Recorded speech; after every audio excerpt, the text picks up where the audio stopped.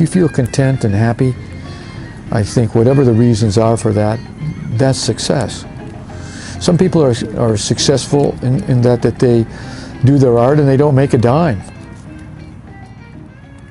I left my family, my friends, my cousins, my aunts, my uncles, everything. They're all in Detroit. But uh, it was, some people say it was very courageous. I, I, don't think so. I think it was just a matter of uh, understanding that I have to follow my heart in my life. The Detroit thing, I don't know, probably some of the people I went to school with are probably not even alive today. I don't know. There's a lot of violence today. Uh, there was violence then. Uh, I remember thinking, you know, uh, people would say, "What should we do tonight? Let's let's go down to the Dairy Queen and beat somebody up." I mean, I didn't fit there. I, I just it just didn't make sense to me. It seemed like a dead end. People think it's very difficult to get out of the inner city. Uh, I proved it isn't. Uh, it, it's a matter of a mindset. It's a matter of understanding who you are and following your dream, your, your passion. No, no doubt about it. Nobody knew who I was. I didn't even know who I was. But I blindly pushed ahead and just said, I don't know any better. So this is what I'm going to do. And that's how I did it. Maybe somebody else uh, met somebody and took them under their wing and did this, that, or the other thing and taught them everything they know. That did not happen with me. I was in uh, Hollywood just trying to find my way, which is not an easy place to find your way.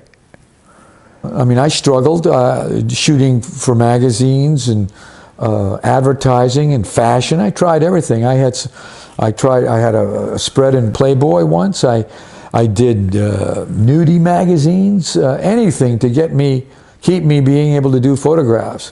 I did photographs of food, um, anything. I would take any job. I didn't really care if I made a lot of money or not. It wasn't about the money. At least initially it wasn't, and uh, of course, that's when it comes. But I think back, and at the time, people told me, don't go into photography because there's too much competition. And I just thumbed my nose at it and said, you know, I don't care. I'm going to do it anyways. Why not you? That's what I keep coming back to. Why not me? Why not you? Why not? It took me a while to understand that, though. I always thought, Mm, I'm not a real professional photographer. when do you become a professional photographer? Is it just in your mind? Probably. But the point of the matter is you you have to believe in yourself and you have to let yourself believe the dream that you can do it. First, you have to believe that you can, then you do it. If you can't believe you can do it, well, you've lost already. It doesn't happen in a day. It took me 15 years to go from absolutely zero.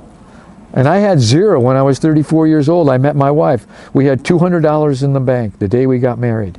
She said wa she wanted to marry a guy that had nothing. Well, she came to the right place. I had nothing. And uh, we worked together. We had a common dream, and we built our photo business. And uh, along the way, we found ways to amplify our photo business so that we could become uh, stars in our field. And we created the glamour shots of the 1980s. The only thing is, I can say that I never wavered in my dream.